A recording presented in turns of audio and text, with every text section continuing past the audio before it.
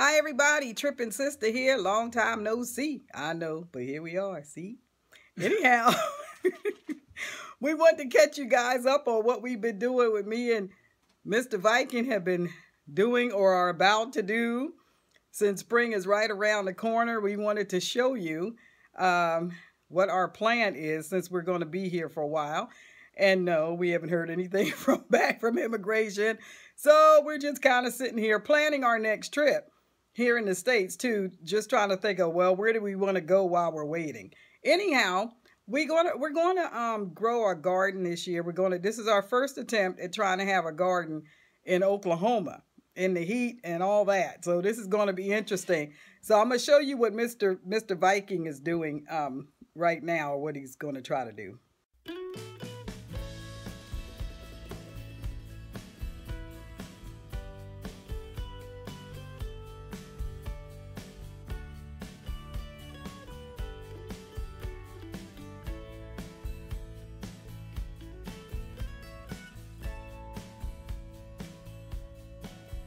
Sitting in your pajamas at home on a rainy day? Well, uh, I ran across an interesting YouTube video some time ago about a fellow, and he mentioned grow bags. Now, I'd never heard about grow bags, although we had grown a garden in the past, and I wondered, what are these grow bags? So I did a little uh, investigation, and it turns out you can buy them right off Amazon, just like everything else. And it also turns out you can make your own.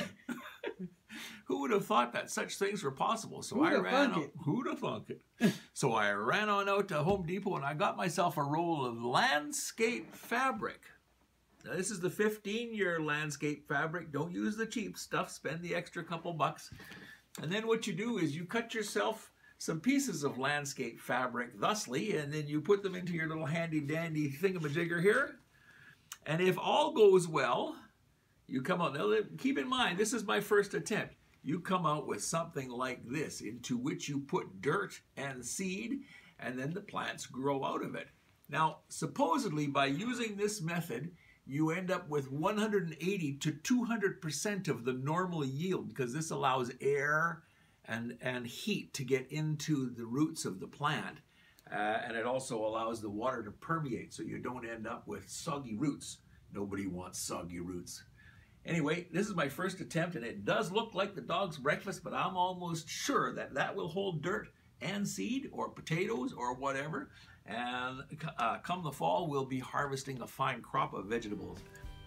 This is my point. This is my plan. We'll have to see how it works out along the way. Thank you very much for coming along with us, and by all means, keep, keep tripping. tripping.